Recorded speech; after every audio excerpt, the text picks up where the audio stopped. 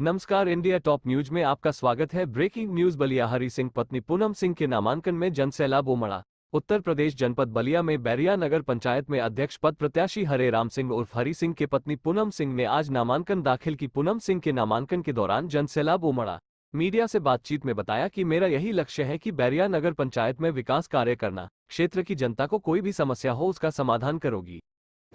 मैं पूनम सिंह, पत्नी हरे राम सिंह उर्फ़ हरि सिंह बैरिया की निवासी हूँ। आज आपने नामांकन किया है नामांकन में देखा गया। जनता मेरे साथ है। जनता का सहयोग मेरे साथ है और पूरी जनता अगर ऐसे ही साथ बनाए रही तो चुनाव तो मैं जीतूँगी ही। जिस लोगों का प्रति आपके स्नेह प्यार है तो क्या दिलों में आप उनको बसी हैं और क्या उद्देश्य है चेयरमैन बनने के बाद? सर चेयरमैन बनने के बाद पहले तो एजेंडा जो जनता की है पहले तो वही पूरा किया जाएगा। और जनता की मूलभूत सुविधाएँ जो हैं एजेंडा वही लेके चलूँगी मैं।